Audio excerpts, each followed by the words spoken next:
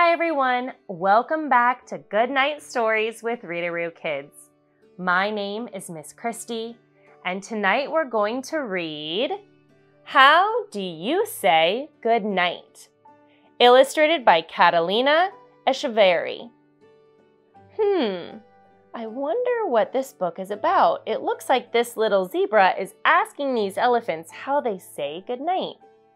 If you're as excited to read this book as I am, be sure to give it a thumbs up below and don't forget to subscribe to our channel on YouTube. That way, every time we have a new book to read, you can read along with us.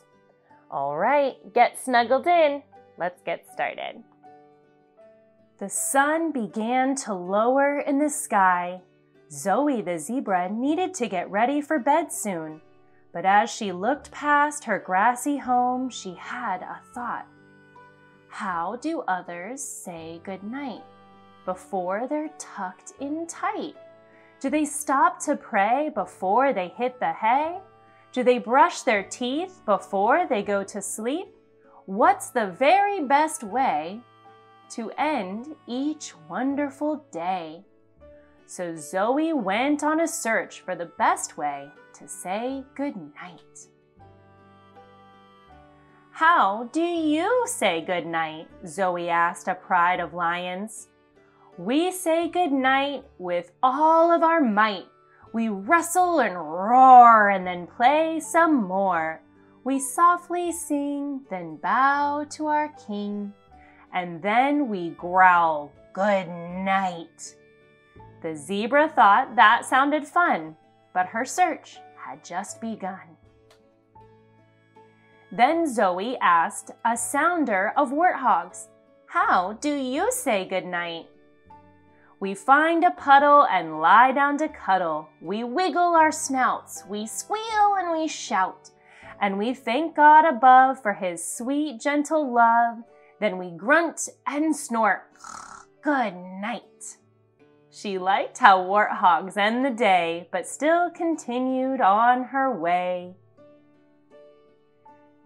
When she neared a herd of elephants, she asked, How do you say good night?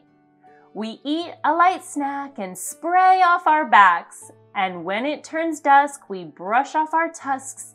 We thank God for the fun we had under the sun, and then we trumpet, night! The zebra wanted to join in, but onward Zoe went again.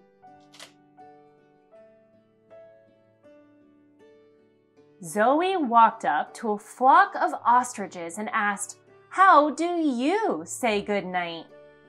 We all get together and preen our long feathers. We eat something sweet, a big bedtime treat.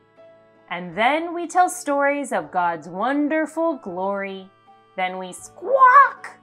Good night! The zebra liked that bedtime drill, but Zoe trotted further still. Little Zoe saw a troop of monkeys and asked, How do you say good night? We swing through the trees as fast as we please till we find a nice bed and cover our heads and thank God for our deep and comfortable sleep. Then we screech good night. Zoe loved this bedtime groove, but she left, still on the move. How do you say good night? Zoe asked a pod of hippopotamuses. All together we make our way down to the lake. We float near the surface and do this on purpose, so we can breathe the night air and thank God for his care. And then we huff and puff. Good night. Sweet Zoe liked that fun good night, but she walked on, soon out of sight. Now the sun was so low it barely peeked above the horizon.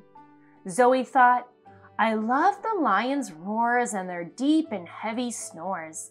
The hippos make me laugh when they make a giant splash. Each good night was great. Now I can hardly wait to say my own good night with my family snuggled tight. Zoe happily galloped back to her home. I'm ready to say good night, she announced. So the whole family walked to their favorite sleep spot. They stood close and nuzzled their soft, cuddly muzzles. The zebras thanked God for all that He's done, and then they yipped good night.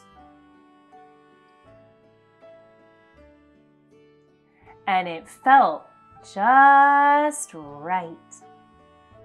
I loved reading with you tonight.